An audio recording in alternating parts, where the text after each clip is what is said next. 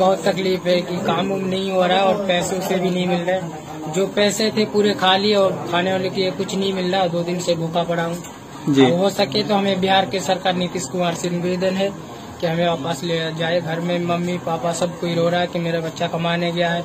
लेकिन खाने होने के लिए कुछ नहीं मिल रहा और घर में भी रो रहा है और हम भी यहाँ पे रो रहे हैं।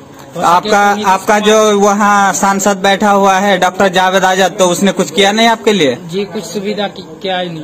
अच्छा अभी तक कुछ सुविधा आप लोगों को मिला नहीं? जी कुछ नहीं मिला। दो दिन से भूखा पड़ा केंद्र सरकार से भी और राज्य सरकार से भी दोनों से कुछ मिला नहीं आपको अभी तक? कुछ नहीं मिला। हम सब दो दिन से भूखे पड़े हैं और काम नहीं हो रहा पैसे से कुछ नहीं है।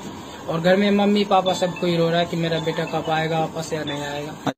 देख रहे हैं यहाँ इतना मजदूर फंसा हुआ है जो कि खाने पीने की बहुत ही तकलीफ़ है। तकलीफ़ के बावजूद भी सब बैठे हैं और खाने पीने के लिए तरस रहे हैं। कम से कम दो से तीन दिन से सब भूखे हैं प्यासे हैं कुछ खाना पीना नहीं मिलता है।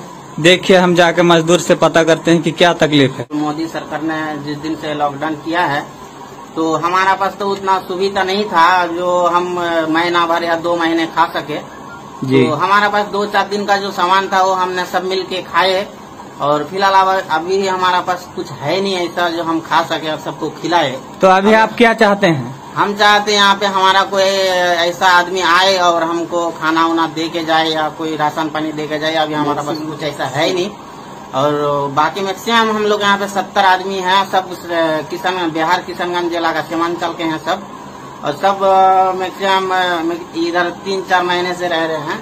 और सब सीमांचल के ही हैं और हमारा एमपी जो है, डॉक्टर जावेद, उनसे भी हम रिक्वेस्ट करते हैं जो हमारा कोई कदम के कुछ, हमारे हेल्प के लिए कदम उठाए।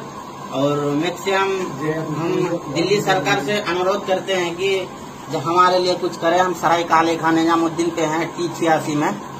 खाने उने का कुछ सामान नहीं है।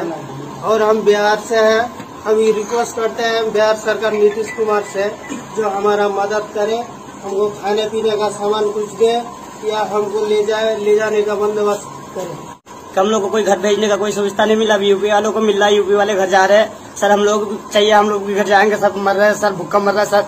बहुत भूखा मर रहा है सर आप, ही लोग कुछ कर सकते हैं भाई साहब। सही बता रहा हूँ आप लोग नहीं जानते कुत्ता भूखा मर रहा है सब बिस्किट खा खा मर रहे हैं भाई साहब। जी जी। मैं और कुछ नहीं बोल पाऊँगा भाई साहब मैं रोना आ जाएगा। अच्छा चले ठीक है। चलिए हम किसी और भाई से पता कर लेते हैं कि कितना तकलीफ़ में है सब।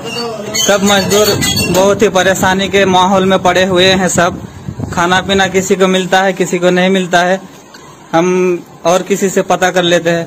भाई जरा आप बताएँगे आपका क्या तकलीफ़ है? जी मेरी बहुत तकलीफ़ है कि काम उम नहीं हो रहा है और पैसों से भी नहीं मिल रहे जो पैसे थे पूरे खाली और खाने वाले के कुछ नहीं मिल रहा दो दिन से